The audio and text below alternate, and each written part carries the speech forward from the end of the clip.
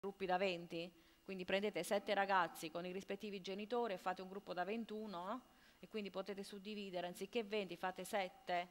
ragazzi 7, 14, 21 con le famiglie, fare tre gruppi da un'ora e quindi restringere a, a sette famiglie in questo caso, quindi un focus group di sette famiglie per un'ora e così via di seguito. Almeno questo è ciò che offriamo noi come cioè che è possibile eh, pagare con i fondi del progetto. Poi nulla impedisce alle scuole di prevedere una programmazione, eh, un ampliamento a livello eh, scolastico mh, specifico.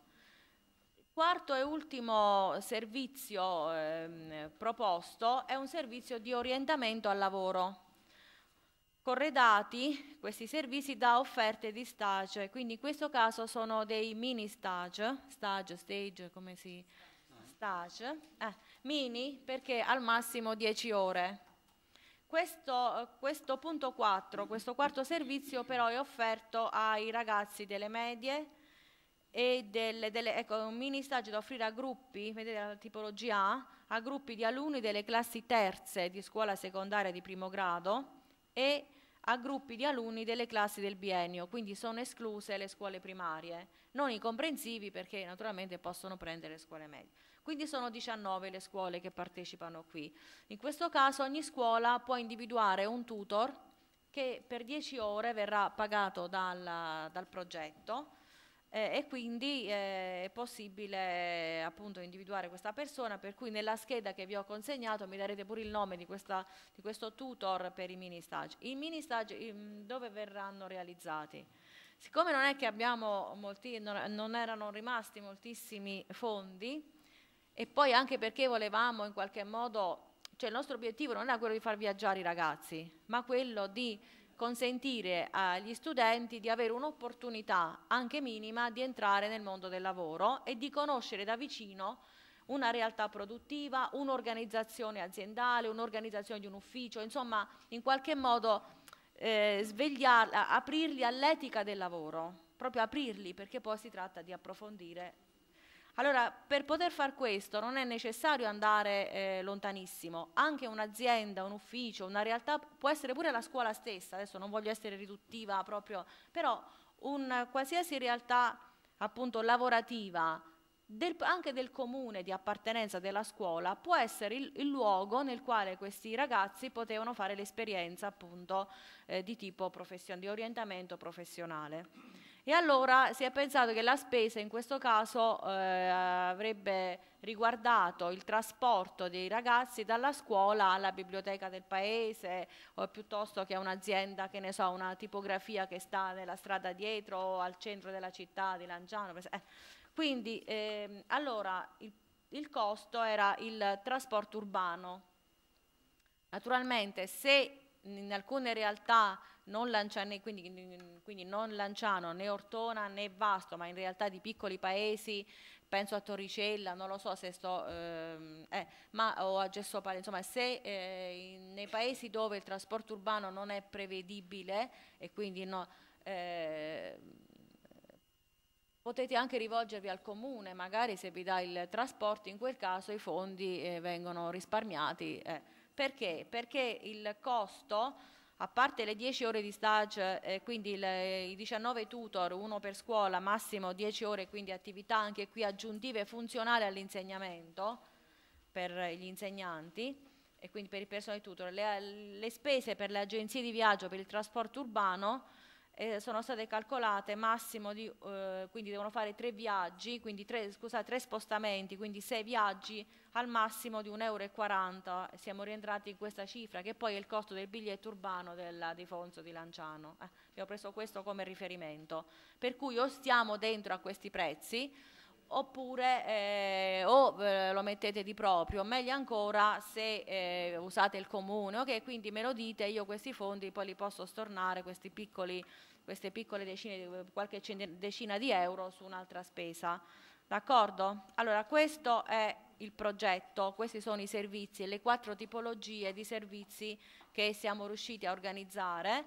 e che eh, prevedono, eh, cioè la cui somma complessiva sta dentro, dentro alle, ehm, ai 50.000 eh, euro. Eh, le risorse organizzative, l'assemblea di rete, appunto, a pagina 17, siamo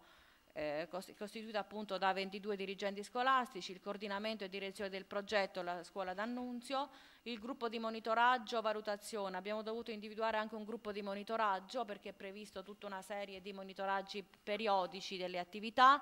ehm, e quindi tre dirigenti scolastici della scuola della rete ehm, che poi eh, hanno già cominciato a lavorare, che sono il professor Orecchioni che oggi è assente ma era presente al momento della progettazione, ehm, il, ehm, Costanza, la, Cavaliere e, Cericola di Paglieta, il gruppo per quanto riguarda il monitoraggio. Tre docenti eh, delle loro scuole, due di SGA, della D'Annunzio e la signora Borrelli che ha partecipato alla progettazione anche. Ehm, il gruppo di progettazione è quello che vi ho già nominato, L'organizzazione amministrativa è la DSGA della nostra scuola che deve, eh, naturalmente ha supportato un assistente amministrativo gestire tutta la parte amministrativa, contabile, logistica, tecnica, generale. Poi le agenzie di viaggio le avete ehm, viste insomma, per i trasporti sia per i mini stage che per, ehm, eh, che per i seminari. Ehm, le risorse professionali, qui ci sta il, diciamo così, la sintesi, le risorse professionali sono appunto i 19 tutor per l'orientamento per i mini stage, i 22 tutor per l'attivazione dei servizi di consulenza per il recupero didattico, i 22 collaboratori scolastici per l'apertura della pulizia delle scuole, per le attività di consulenza, un esperto sulle tematiche relative alla pedagogia della famiglia, quattro esperti per i tre incontri, perché sullo sport avevamo trovato due persone, quindi quattro esperti po possiamo anche individuarne di più, però eh, a costo zero.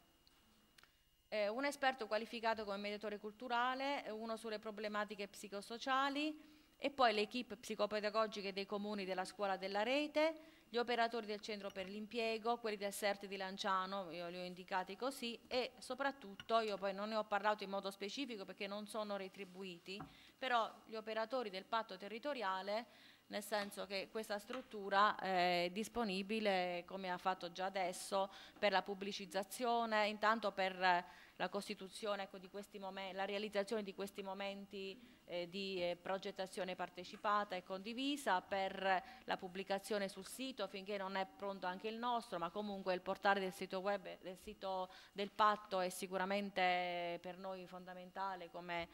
anche perché ce l'aggiornano in tempo reale e quindi davvero un grazie per, eh, fino ad oggi, ma poi anche in prospettiva, per cui, e poi non, non solo, ma anche per consulenze relativamente all'orientamento. Penso che il patto territoriale può essere, eh, cioè io non so come fare questo stage, ecco, posso rivolgermi al patto per avere informazioni o un supporto logistico eh, di, di consulenza in questa direzione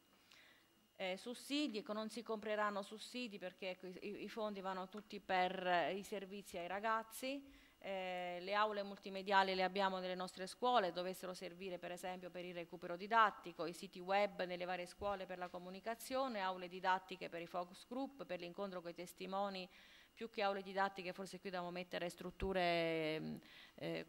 strutture delle varie città, strutture pubbliche appunto per la realizzazione di, di eventi educativi e culturali. I risultati attesi, io leggerei soltanto il primo fondamentalmente, che è lo sviluppo e il potenziamento di questa rete, sviluppo e potenziamento di una rete, della rete territoriale come realtà istituzionale visibile ed operante sul territorio, perché l'obiettivo del POR era proprio quello di istituire reti